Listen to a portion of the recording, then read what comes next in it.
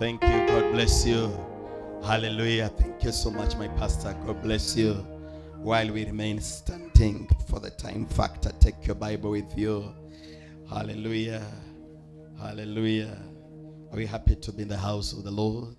While we remain standing, kindly take your Bible with you and confess all together with me as you open in the book of First Kings chapter 18. First Kings chapter 18. First Kings chapter 18. Are we on First Kings chapter 18?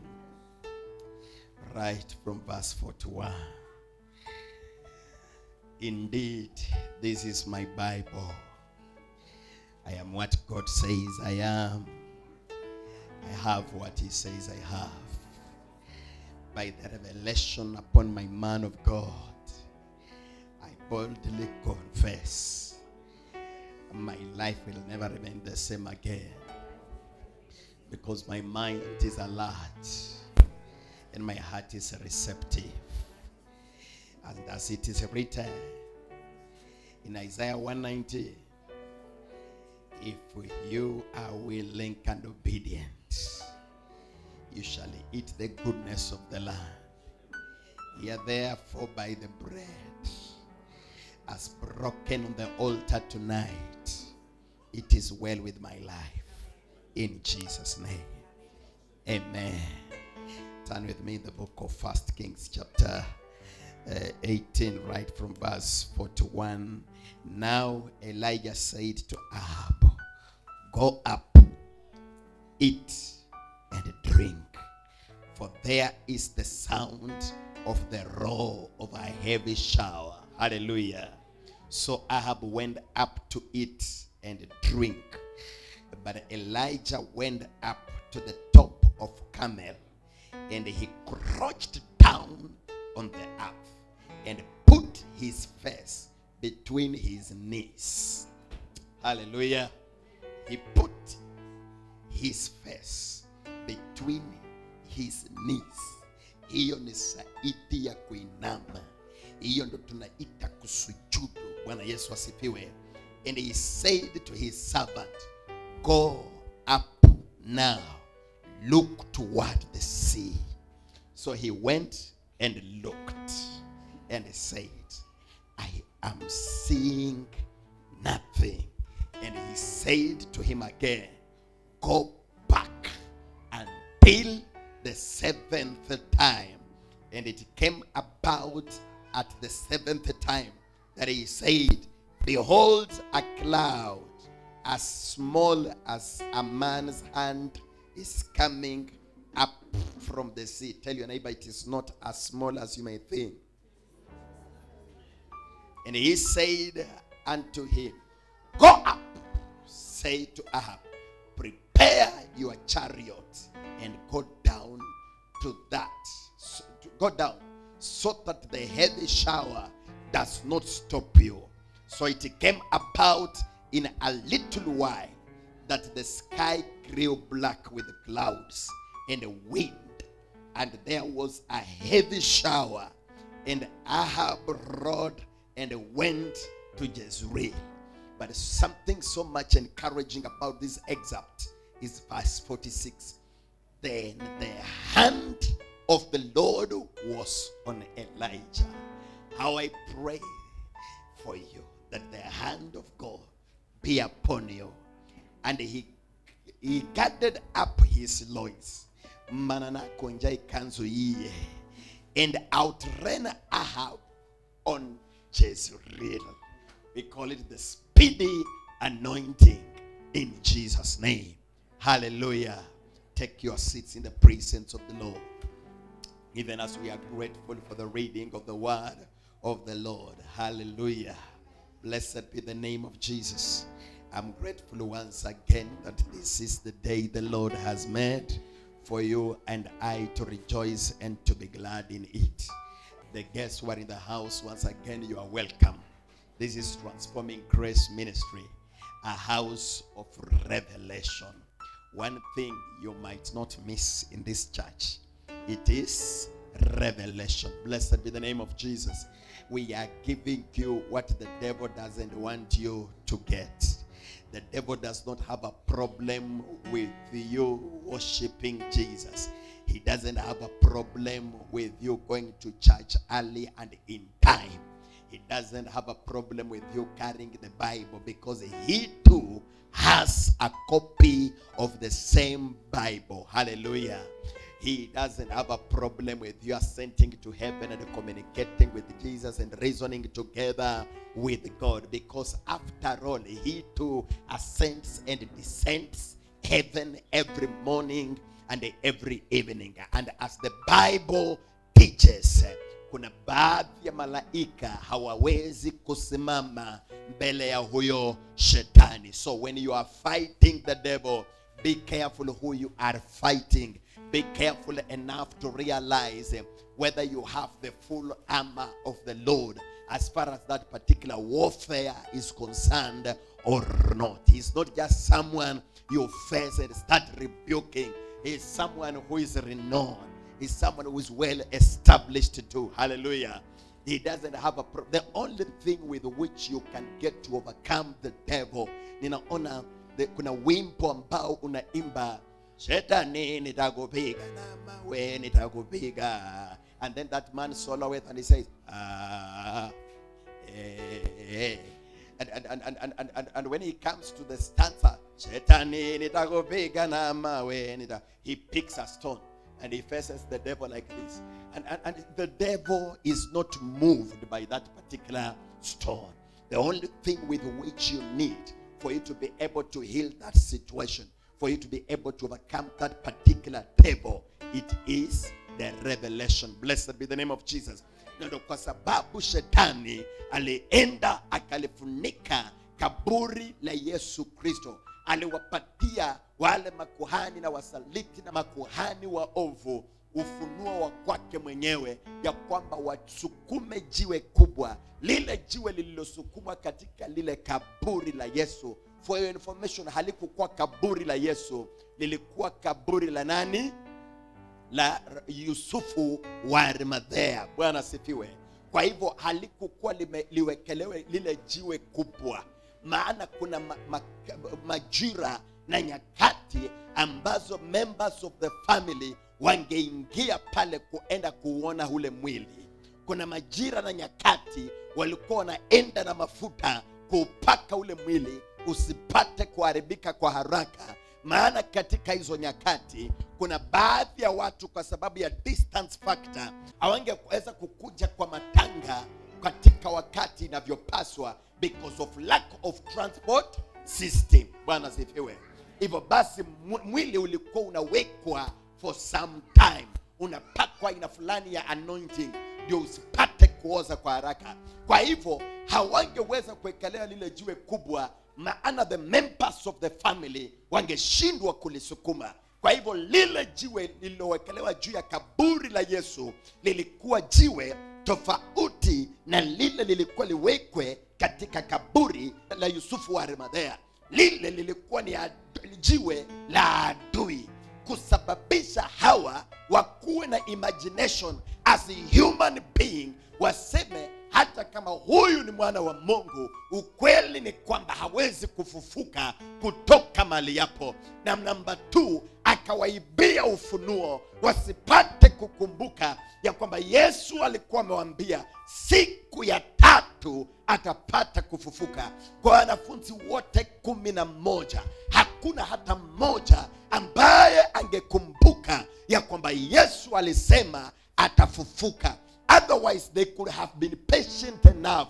Wangoje tu waone kama siku ya tatu hawataona lile neno yesu aliwaambia likitimia basi hapo ndio wangepata kuanza kupiga hizo aina ya kelele ambazo ungekuwa napiga bwana sifiwe so ilikuwa awapumbaze so that nini ifanye? Ile ufunuo ipotee.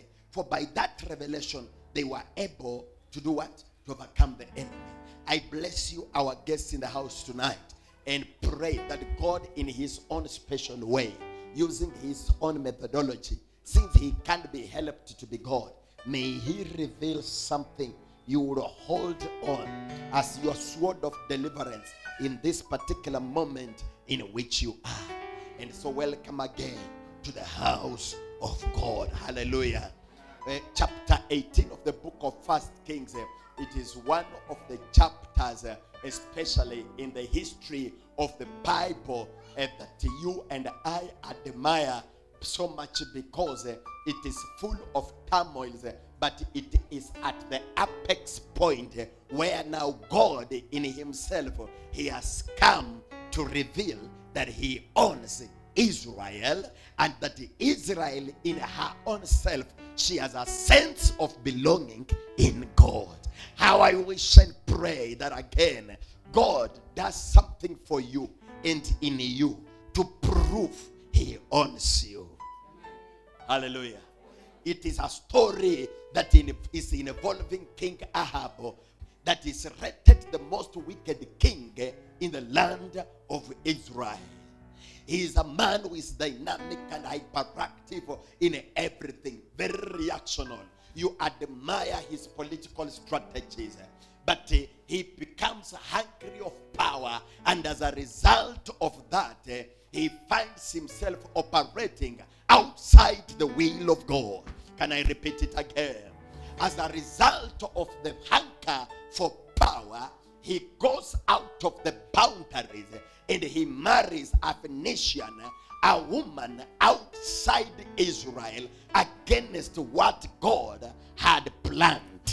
And God's order was, lest you get married eh, to the what we call Gentiles, uh-uh, because the Israelites were believers. So marrying from Gentiles is likely to get to influence this family eh, because we understood right from the onset of time only but Israel amongst other nations, eh, it was the only nation that was known and recognized for and with the worship of God.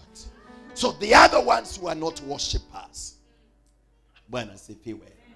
And so, as a result, for the hunger for power, he goes, he marries Jezebel, not because he loved Jezebel. And I can prove to you the reason Ahab brought Jezebel in place was for transactional purposes. There is some value that Ahab wanted to add upon himself as far as political relevance and power is concerned. So that uh, he understood that Jezebel was a princess. Hallelujah. And so when they march together, the princess and this king of Israel, he shall fortify the government of Israel.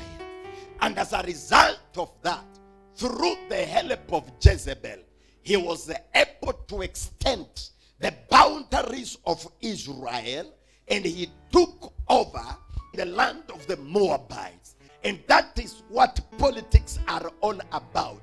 Because the only way you can make relevance in politics, it is when you are able to answer the question based on power, based on economy, and based on territories. Hallelujah. And because he has extended territories, you realize he's walking in authority.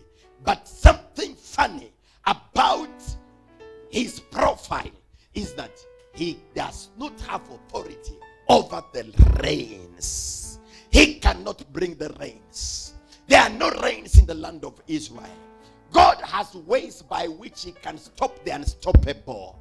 Sometimes you look at your boss and think he is at the apex, only to realize he has his boss too. Can I repeat it again?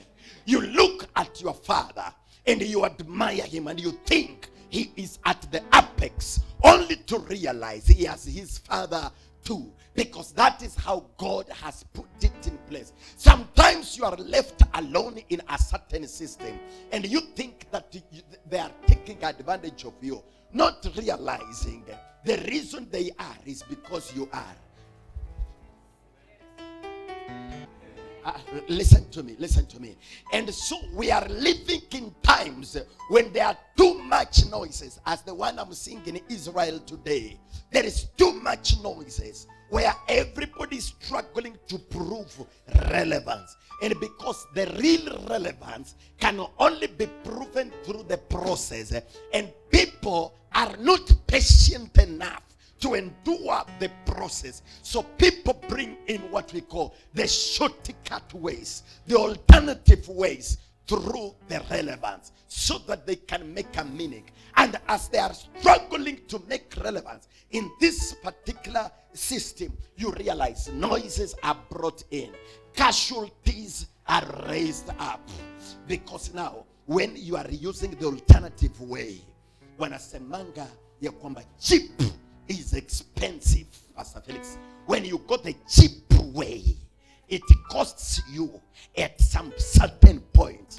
Oh God, I bless you for how few we are today that people can get the concept here. Let me not sound like I'm preaching tonight.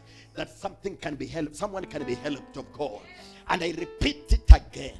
After Herod kills one of their apostles, people celebrate him. It gives him a political mileage. And as a result of that, he is tempted to believe, oh my goodness.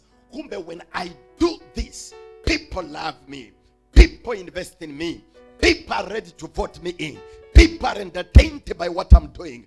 And so the Bible says, when he noticed that killing one of the apostles gave him a political mileage, he decided to arrest Peter and put him into the chambers in ready to kill him in the following day. Not that Peter had done anything wrong. They take advantage of this particular noise because they don't want to follow the right process. And when you do not follow the right process, casualties come in. Today, because of such noises, eh, when people are struggling to get the relevance of politics eh, at the end of the day without using the right way, the right order, the way of God, the right protocol, you hear people are banned in a church and nobody is moved. Nobody feels sorry about it. No one is disturbed. Ah, blessed be the name of Jesus. A mother says, Now because I can't save myself, let me take this animal, this my young boy, and throw the child through the window. Maybe that child will continue my generation. But when they see a child thrown out, they take the child, throw the child back into the fire in the church. The church of God is being burned, put upon fire, but no one is disturbed, politically speaking, because their objective is to make sure they gain political mileage. And they can do whatever they can do to make sure they arrive there. They care less about collaterals. They care less about the casualties that are being collected along the way. Blessed be the name of Jesus. You, whenever these noises arise, politically speaking, you hear of the baby Pendo that nobody remembers today. You hear of Jacob Juma. You hear of Msando. The people who are leaving children behind, they are leaving their wives behind. You hear of the lawyer Willie Kimani. Blessed be the name of Jesus. You hear of a man of God has been killed somewhere. And through these political issues, you hear the churches are being broken down. The lands of the churches are being grabbed by politicians who make political documents out of the Photoshop and they legalize it to make sure it looks right. Even when you bought it through cooperative bank that is believed to be the government that is the time in which we are living today. And i bless the lord that you and i are in these times. Oh come on patricia don't feel sorry about it. You are the right woman to be in this season. Your grandma could not have lived in this season. She didn't have the stance. She didn't have the shock absorbers. She didn't have the shock mount to carry the weight. You and I are the right people to carry the weight. The grace we are carrying is greater than that of our forefathers. Hallelujah. Because the Bible says, and when the enemy shall come in like a flood, I will raise a standard. I am a servant with a standard. I am a preacher with a standard. I am an intercessor with a standard. I A keyboardist with a, a standard. A chairman with a standard. A senior pastor with a standard. An assistant pastor with a standard. Come on, ushers with a standard. Wacha kukaa ukijihurumia. We are living in times eh, when everything you held on as the ethics, as the character of the day, as the good order of the day, it is fading out. It is fading out. It is fading out. I am born when there is only one channel. Hallelujah. That is the KBC Radio Taifa. There was some certain order based on our culture, based on our religion, and there was some certain order and some certain limitation on what should be played, what should be viewed, what should be talked about. The language factor was regulated. But now today, I'm living in times when there are countless number of channels that you can watch news. When you want to watch pornography, you tune on this. When you tune on pornographic TV moment, good entertaining, when you turn onto that channel, you'll find there Brian Chira with his nakedness exposing it on camera. We are living in times eh, when there is pollution all over, political pollution. Until nowadays, eh, it is irrelevant to vote. We have another channel. When you want to hear how lawyers expose their marriage issues, how they, they you know, they mock their wives, they mock their husbands, you tune on, is it Radio Jambo, Radio Mambo, and while you share your issues and you think it is being solved, you hear the person who is supposed to be helping you to solve, he is laughing to mock you. and the way that man, is it Gidi and Ghost? The way they laugh, you wonder, did I come here to be helped or to be mocked? What is so funny about this laughing? We are living in times uh, when uh, the men and women of God we admired ringtones of those times. uh, Whenever ringtone will take a microphone, go to the altar, and you just feel the presence of God is in the house. The days when we would admire men of God uh, like Shari Martin, nilikuwa na rafiki yangu. Ah, Mama Lilian, just sit down. This revelation is for you. There is somewhere I'm driving. I just want to take short time. Hallelujah. Talk of Shari Martin. Talk of Kidum. Talk of size 8. Talk of Gloria Muliro. Talk of Shirawa GP. Talk of Lois Kim. The men and the women of God we admired. Those days we grew up admiring Reuben Kigame. We grew up admiring men and women of God, preachers. And Kenya was known for the gospel. There is nothing else Kenya was known for. If there is anything blessed you are seeing in the land of Kenya today, is as a result of the effort of the men and women of God who stood firm in the preaching of the word of God. When Wanjiru will take the microphone and she is like the glory is here.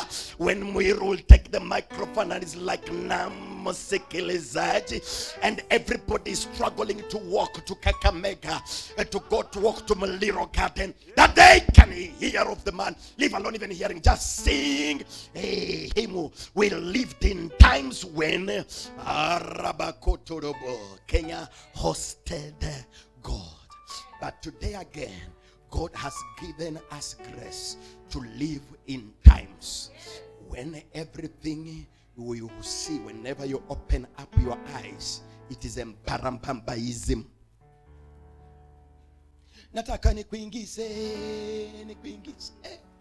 Bend this way this way ni and, you- and you are like excuse me But please, let me repeat it again to the preachers of the day.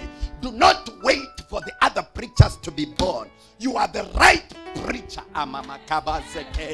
Let me preach to my keyboardist again. We lived in times eh, when every keyboardist, his responsibility was to impregnate ladies in the church. They could not tithes. They could not wear socks. They could not participate to the church activities. They could not carry Bibles. They could not carry notebooks. They could they, could, they carry flash discs alone, carrying beats for Aramakobo. But today God has given us grace again. And because He's a God of remnants. When we can have Gibodis who fear the Lord. My pastor said, Do I sound like I'm preaching? And when these noises are going over, you realize there are casualties that are being left behind. And now you realize Kenya is losing shape. Kenya is losing shape. And while everybody thought is Baba, they realized later on, oh, the Baba we thought to be Baba Kumbe, he was a gambler. He was gambling with our lives and he was taking advantage of our lives. Now, at the end of the day, we don't have Baba. We have brothers and sisters who are campo doing it to me backy now. And you are like, excuse me, even after all this bloodshed, Raila and Ruto, they are friends. Even after people have been burnt in church, Raila and Kibaki, they are friends. Raila and Uhuru are friends. And you realize the issue is not them, the issue is times. And while we thought that, come on, God, maybe a woman being in the judiciary, in the head office, she could make relevance. That is when we realize, oh my goodness, everything we are talking about is betrayal, betrayal, betrayal, betrayal. And now voting in Kenya has become a formality. And now this warrior tells me, come on, don't see our input in Kenya as far as what we are building, the structures we are building, the businesses we are starting here, and think that it is just business we came to do. For your information, you are not hosting us. You are not hosting us. Whatever you see us do for Kenya, it is intentional. Look at our wives. We don't allow them to work. We allow them to give birth and stay home and raise children. Every warrior is allowed to marry even 10 wives. And, and they are not allowed to use, I don't know what you call it, P3. What are these P's? In education, we have P1 teachers. In, in, in, in health system, uh, we, we have P2. In the police department, we have P3.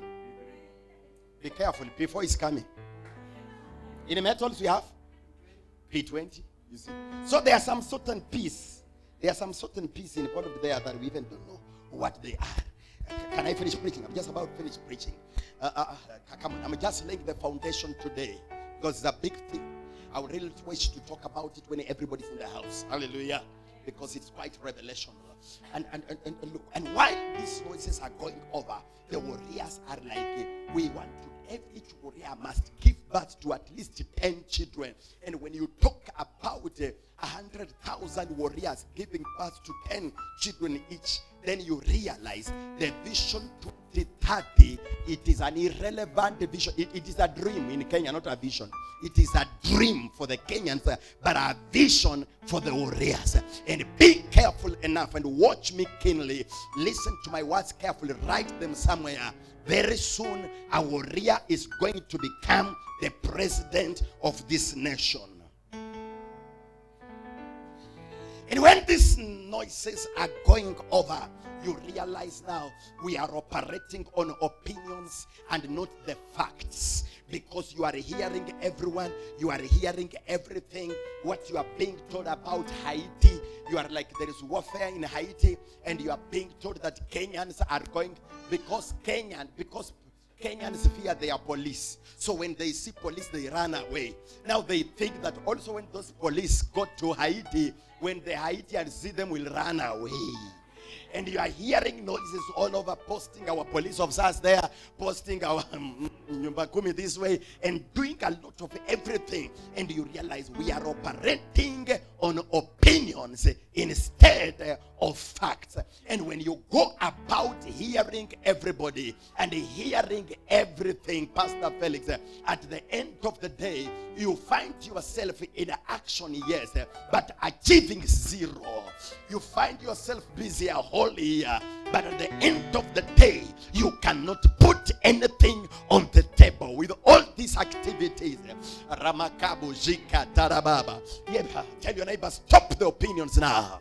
And the Bible introduces me uh, to the land of Israel by the king of Israel, the man that who messed, the man who is believed to have messed up the land and the kingdom of Israel as a result of his defiance to walk in the will of God. Hallelujah. He messes up everything. He brings in a wife whom he doesn't love. All because uh, he was after transactional.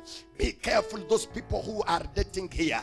Whether you, mm, with the kind of the relationships you are in, whether it is a relationship or a transactional issue. Hallelujah. That is what I was solving with one of my pastors down there. Everything, this lady's expectations are totally different from the man's of God's what? Expectations. And she's like, Pastor, I accept to go back to that man of God as my husband, eh, but I don't want him to honor a church. I just want us to find our church or we be coming to fellowship in your church. And after we are through with the service, we go. I just want us to do business. And I say, I was like, that is stupid. And if you continue like that, I break this marriage by myself. Ah. For information, I broke it. The man of God is free. Uh, do you think we have anything to lose? We have nothing to lose. The reason you are in my life is to complement what God has called me for. You are not in my life for handsomeness because after all, kesho mimi nitafanana tu na umsese. Umsese akipita hapa kuna mzigana anaweza fanya lakini mimi nikipita cheka umsese. Cheka umsese amepita. Eh, sasa mimi kesho nitafanana tu na msese. So if you are, you are in my life because of how handsome I am, you can be sure. By the way. By the hawa ndo chairman anabebanga usiku na tuvijana tusichana tudogo hawa ndo wako na kitu. Mama mama Rose be careful. Kuna kitu iko hapo na ujui ah, God bless you. Hallelujah. Now, now, now, during this very time, there are noises in Israel, and everybody else is struggling to prove. After this man, then let me repeat it again. Ahab, because of his you know, hunger for power, he brings in a woman he doesn't love. And you must be sure what is happening between Ahab and uh, Jezebel. It is not relationship, but transactional factors. Ahab needed Jezebel so that he can improve the security system of Israel. When any other nation hears uh, that Ahab, the king of Israel, he is married to a princess uh, from the other land, uh, they plan themselves before they face or attack Israel. Listen to me again. Also, Ahab needed Jezebel so that as she comes in, by the backup of the princess from her land, hallelujah, they are able to fight surrounding areas and take the lands of the enemies. That's why Israel has taken Moab as part of itself. Can I repeat it again?